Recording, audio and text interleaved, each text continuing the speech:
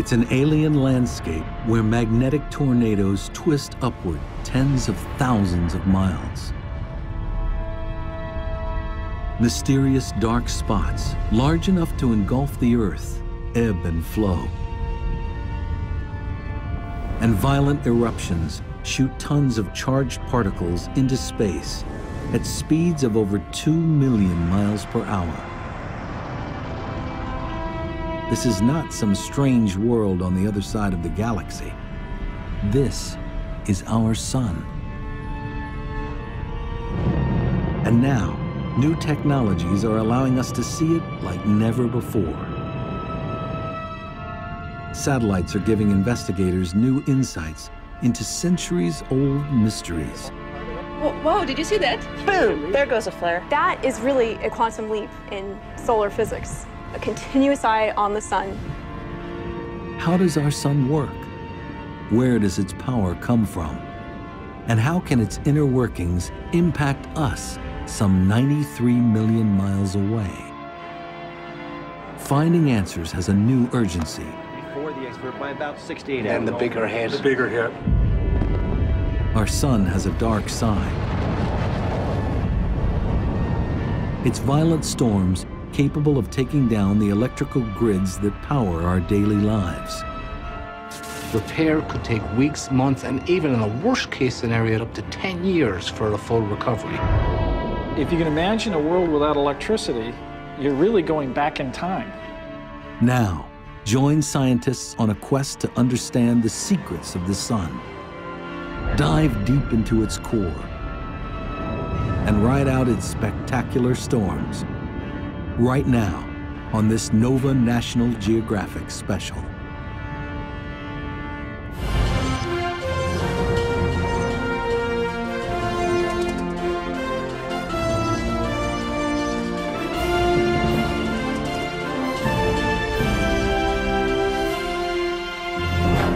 Major funding for NOVA is provided by the following. The David H. Koch Fund for Science, supporting NOVA, and promoting public understanding of science. Discovering new knowledge. HHMI. And by the Corporation for Public Broadcasting. And by contributions to your PBS station from viewers like you. Thank you.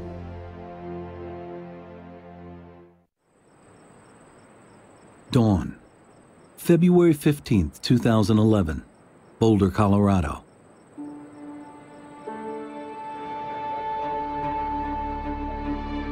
The team at the National Space Weather Prediction Center begins its day as it usually does. Carefully watching the surface of the sun. Okay, a 10 centimeter came in today. Although 93 million miles away, forces here can impact Earth in surprising and destructive ways. For the, for the smaller, the M6. For the M6, you see this. The very first one is the M6. Today, after years of relative calm, a satellite detects something. A dramatic explosion on the sun's surface. A violent solar storm that would dwarf Earth is erupting, releasing a massive shockwave, hurtling towards us at over a million miles an hour. Right now, no one is sure what to expect. But I, I think that the M6 is going to get here. We have to determine when that thing is going to impact Earth's magnetic field. It's going to be sometime tomorrow, perhaps later in the morning, later at night. That's what, exactly what we're trying to determine. In fact, I have to join the discussions right now, so I'll get back with you. The team models the approaching storm. So 15Z for the arrival of the CME. This right, is it here. Right okay. there. Their simulation shows it racing out from the sun on the left towards the small dot on the right, Earth.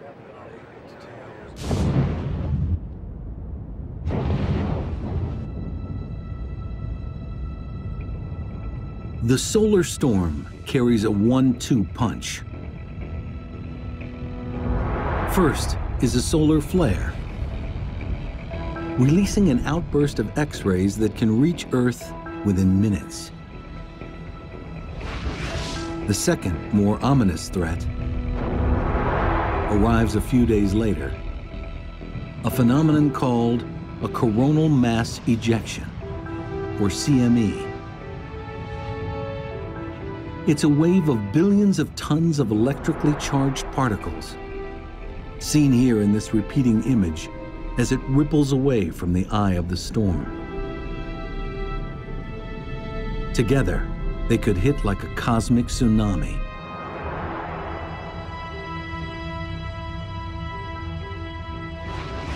delivering a surge of radiation and an electrical spike of trillions of watts, potentially crashing the power grid. Sound far-fetched?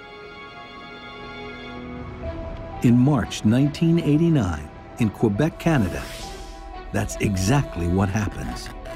One by one, power stations crash, disabled by the overwhelming power surge caused by a CME wave. In less than two minutes, six million people are left without power.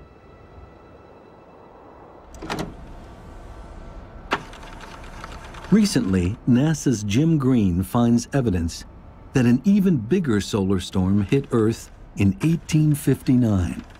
And what we found was the granddaddy of geomagnetic storms, and that was just 150 years ago. If we had a geomagnetic storm of that intensity today, the National Academy suggested that the impact on critical infrastructure could be catastrophic. And the big, big concern is the electric power grid. The massive electrical surge from a CME wave could overload power lines and melt transformers blacking out entire cities. Repair could take weeks, months, and even in a worst case scenario, the National Academy suggests suggested up to 10 years for a full recovery. If that occurred, if you can imagine a world without electricity, you're really going back in time. It's not just the power grid that's at risk. More and more, we rely on technology that could be affected by the sun global positioning satellites, long-distance communications, airplane tracking, astronauts in space. Roger, how does it look? So there's an urgency in understanding what it is that the sun is doing, what's it going to do next, and how can we prepare for that and respond to it. Worried, worried or not worried? Well, I would be just a little bit worried, given more, yeah, concern right now. We'll be watching and monitoring it very closely here in, in the coming days.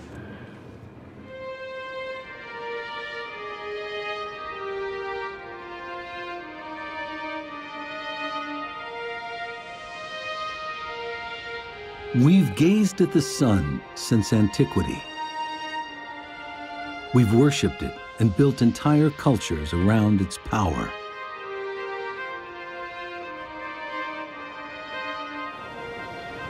We marveled when it's eclipsed during the day. And when its power lights up the night sky with dancing curtains of light, the aurora.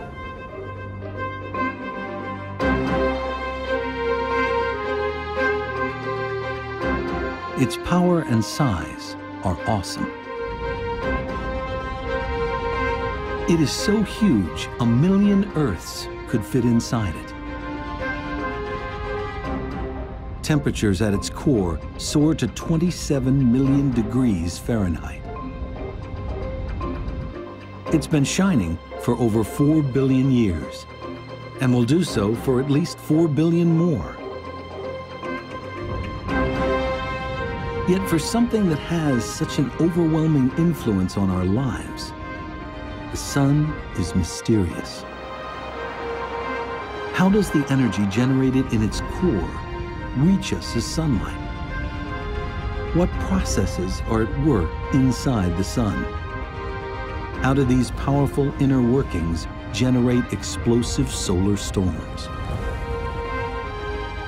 These are some of the mysteries scientists must understand to protect us from the sun's darker side. The sun can really surprise us. The sun is elusive, crazy, Complicated. crazy, incredibly dynamic. crazy. With explosive potential. The key to that explosive behavior lies deep beneath the sun's blinding surface.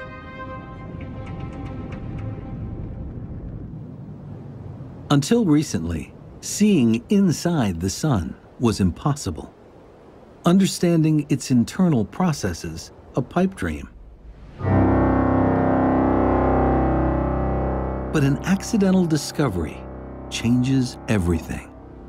Until the 1960s, much of solar physics relied on things that were like solar dermatology.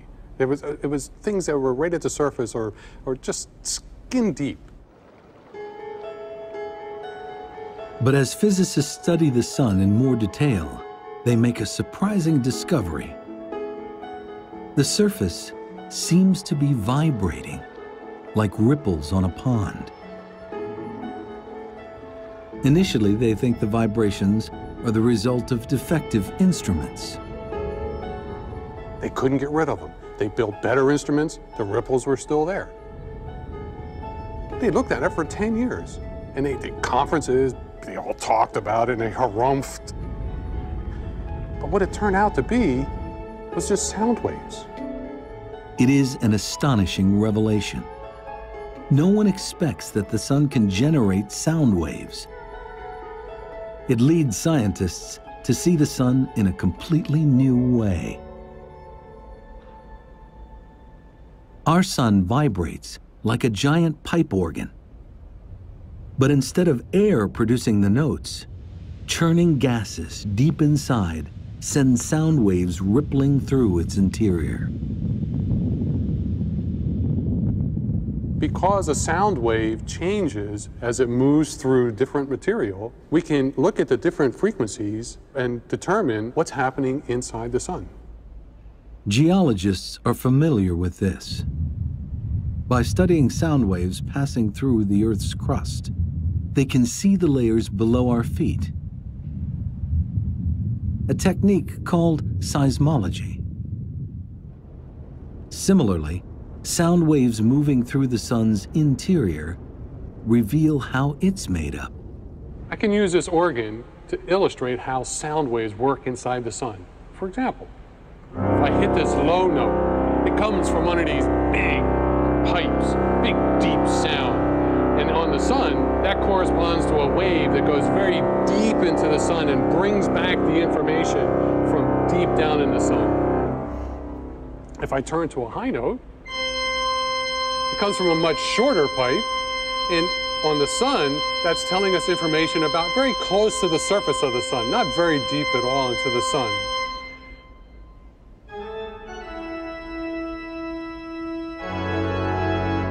There are 10 million different frequencies resonating in the sun. Deciphering them leads to a seismic shift in understanding its structure. Creating a new science, helioseismology.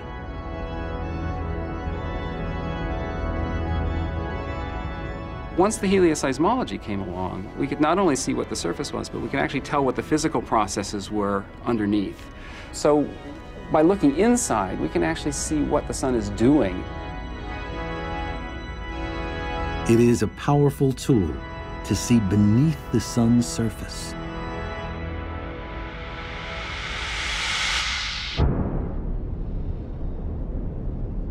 Studying the sun's sound waves reveals a complex, multi-layered machine. Directly beneath its blazing surface is a zone of perpetual churning.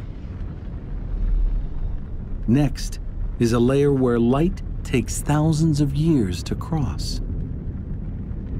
At the center is the sun's core. It's the smallest region, but it's over 25 times the diameter of Earth.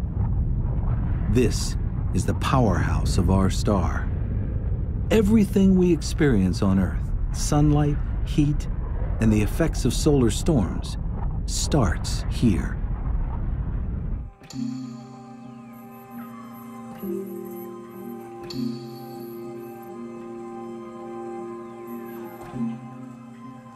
So what's it like here? What's the core made of?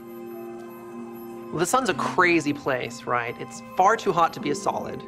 We, we know that. Right? Heat it up, it's far too hot to be a liquid. And so you think, well, it's a gas, right? Well, not really.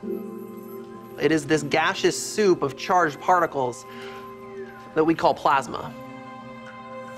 You're more familiar with this soup than you might think. There are plenty of examples fluorescent light bulbs, flames, neon lights, perhaps fancy TVs that I can't afford, but these are all plasma. Plasma is sort of all around you. But plasma is radically hotter at the sun's core. The closest thing on Earth is lightning.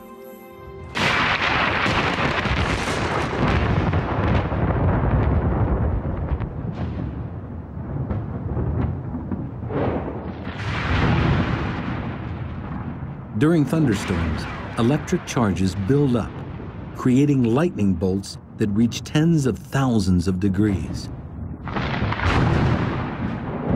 That's pretty hot, but it's nowhere near as hot as in the core of the sun. So if you were to travel into the core of the sun, the plasma would be 15 million degrees. As the sun formed, hydrogen gas at its heart was crushed under the weight of the material above.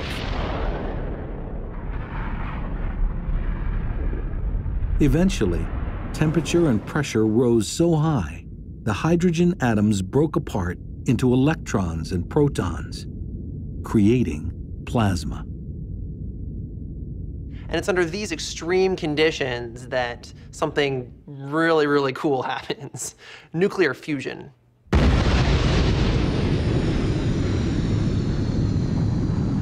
It's the same atomic process inside the hydrogen bomb. Under tremendous pressure, protons in the plasma fuse